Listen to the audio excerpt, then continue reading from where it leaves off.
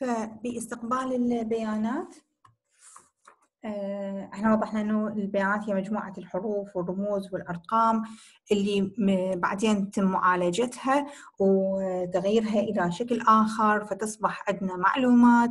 هذه المعلومات ممكن إنه آه، يخرجها لنا الكمبيوتر أو الحاسوب آه، بشكل يا إما على الشاشة أو مطبوعة أو إنه يخزن هذه المعلومات بعملية التخزين أو ال storage اللي هي الاحتفاظ بالبيانات حتى نسترجعها آه، في وقت آخر. وطبعا المكان اللي نخزن به هذه المعلومات إحنا نسميه الذاكرة أو ال memory. ما هي آه، مميزات الحاسوب؟ سرعة في إنجاز العمليات آه، سرعة في إدخال البيانات واسترجاعها واسترجاع المعلومات. آه، دقة النتائج اللي اللي تتوقف أيضا على دقة النت... البيانات المدخلة للحاسوب. يعني مثلا يعني مثلا آه، إذا أنا آه، أنطي واحد رقم واحد ورقم خمسة وأنطي له عملية الجمع. هنا ما ممكن إنه مثلا واحد زائد خمسة يكون عشرة. آه، ليش؟ لأنه معلومات اللي البيانات اللي أنا أنطيتها هي بيانات دقيقة، بيانات آه، حقيقية. آه، فأكيد الناتج راح يكون حقيقي. فإيش قد ما يكون البيانات اللي إحنا مدخليها للحاسوب أو اللي إحنا نعطيه إياه تكون دقيقة كلما كان الناتج أو النتائج كانت دقيقة. إضافة إلى القدرة على تخزين المعلومات.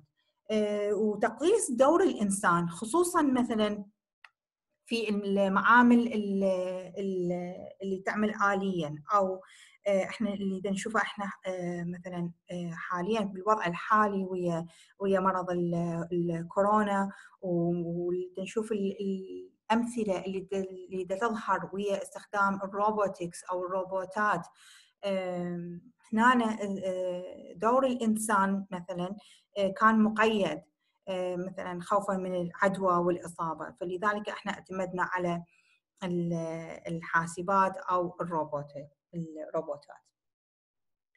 آه، امكانيه اتخاذ القرار طبعا حسب الشروط الموضوعة. يعني آه، مثلا أنا انطيت البرنامج قلت انه إنه اذا إذا انت انت, أنت راح تبقى تتجه إلى الأمام.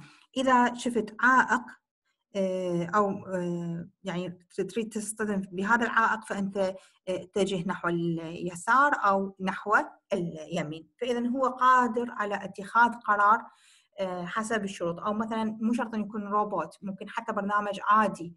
مثلا أقول له اجمع الرقمين اجمع واحد ويعني اجمع الرقم الأول والرقم الثاني.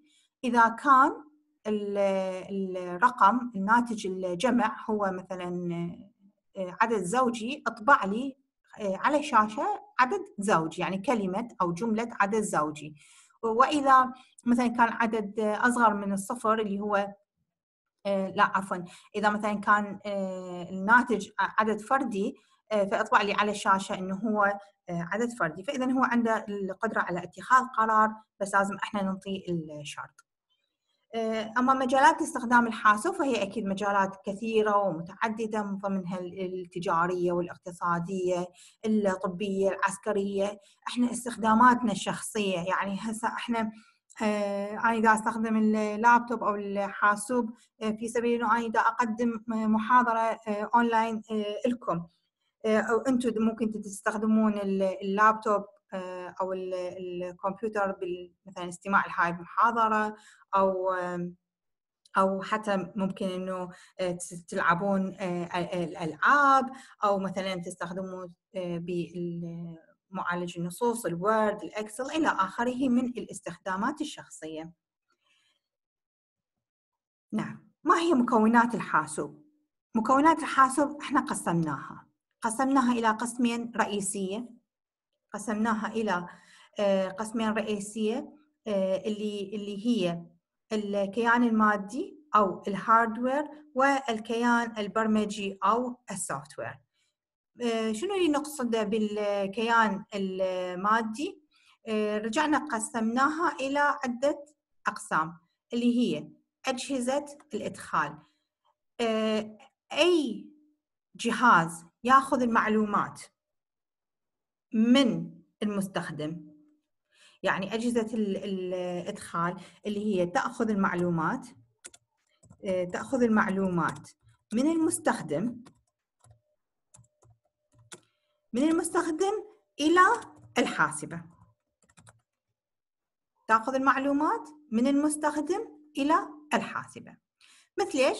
مثلا الماوس الكيبورد القلم الضوئي إلى آخره. هذه هي كلها شنو؟ كلها إحنا آه نعتبرها أجهزة إدخال.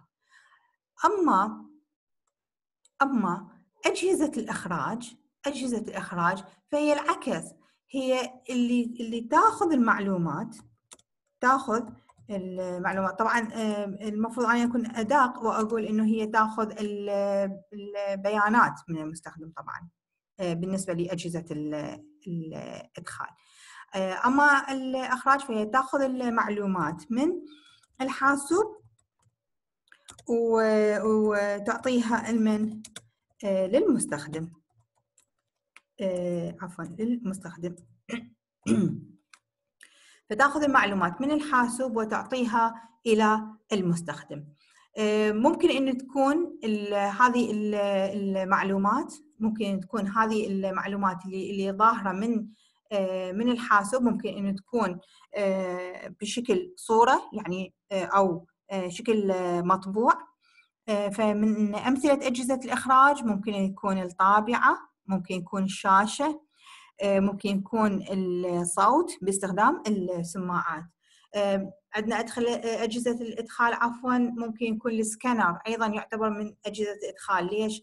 لأنه إحنا ناخذ شيء من المستخدم اللي هي الصورة أو الورقة أيا يكن بدنا نحولها إلى صورة ونرجع نعطيها للحاسوب بشكل مثلا صورة أو حتى آه، من المكونات المادية أيضا اللي هي وحدة المعالجة المركزية Central Processing Unit. آه، آه، تخيلوها العقل عقل الإنسان. يعني إحنا عندنا عندنا إيدنا نقدر إحنا نستعملها. لكن إذا ما يجيها الايعاز من الدماغ فهي غير قادرة عن الحركة. هذه العضلات العضلات ما تنقبض وتنبسط إلا بإيعاز من الدماغ. فال مثلا إحنا لزمنا شيء ساخن حار كان شاي حار أو خبزة حارة. فالمتحسسات اللي موجودة على الأصابع هذه شنو؟ راح تنطينا بيانات راح تنطينا بيانات بيانات درجة الحراره راح تروح هذه البيانات إلى الدماغ راح يعالجها راح يشوف إنه هذه درجة الحرارة هي درجة حرارة كبيرة ممكن إنه تسبب مثلا الحرق لجلدنا أو أو إيدينا. فيرجع ينطي الإيعاز إلى المن إلى العضلة إنه نقولها انقبضي يعني أو الايدنا نقولها عوفي هذا الشيء الحار أو أو اسكب يعني ذبيه أو عوفي هذا درجة حرارته عالية راح تتأذين. فهي هذه وحدة المعالجة المركزية هي الدماغ للحاسوب.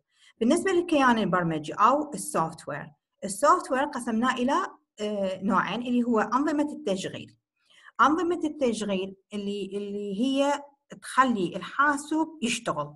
لكل hardware لكل hardware أنا أحتاج software يشغله. لكل hardware يعني مثلا هسه إحنا بالأنظمة التشغيل الحديثة. من أنظمة التشغيل مثلا أغلبنا يستخدم ال Windows أو قسم يستخدمون ال Linux قسم يستخدمون ال Mac. بمثلا سابقا يعني إذا أريد أخل... أشتري جهاز أو عفوا مثلا card شاشة. card الشاشة حتى أنصبه بال... بالحاسبة لازم عندي قرصة تعريف مالته لازم أعرفه. فلكل hardware أكو software هسه بالأنظمة التشغيل الحديثة عادة ما تجي أغلب التعريفات built in موجودة وياها. ف نظام التشغيل هي اللي تشغل الحاسبة. أما البرامج التطبيقية البرامج التطبيقية هي أي برنامج إحنا نستخدمه حتى آه، يؤدي لنا في غرض معين إن كان Word إن كان Excel إن كان Photoshop إن كان هذا البرنامج اللي صار مستخدمته الباوربوينت إلى آخره. آه، فهذه هي تعتبر من البرامج التطبيقية. نعم.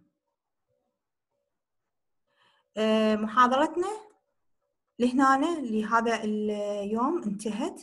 آه، إحنا مثل ما قلنا إحنا المصدر مالتنا هو إحنا مصدرنا هو الكتاب الأساسيات الحاسوب تطبيقات المركزية المكتبية عفوا الجزء الأول.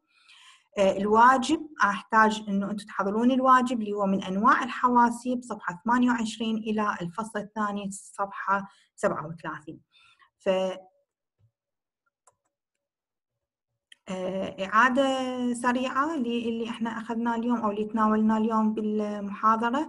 سوينا مراجعة للمحاضرة السابقة. تعرفنا على شنو هو الحاسوب الإلكتروني ومن إجت تسمية الكمبيوتر. آه، شفنا الفرق ما بين البيانات والمعلومات. آه، انطينا شنو هي مميزات الحاسوب ومجالات استخدامه. وما هي المكونات الحاسوب؟ وقلنا إحنا قسمناها إلى قسمين رئيسية اللي هي ال hardware وال software وبعدين رجعنا قسمنا ال hardware إلى أجزاء وال software إلى أجزاء. أتمنى أن تكونوا استفادتوا من محاضرة اليوم وأتمنى انه أنتم تحضرون الواجب. آه راح ينزل آه عن هذه المحاضرة راح ينزل آه كويز بسيط. الهدف من عنده إنه فقط إنه أنا أعرف إنه هل إنه هذه المحاضره فعلا وصلت لكم؟ استفادتوا من عندها فهمتوها؟ آه، وإن كان عندكم أي سؤال فأنا موجودة وياكم بالصف ونزلت لكم الجدول اللي راح أكون أنا متواجدة به وياكم وإن شاء الله يا ربي كل التوفيق.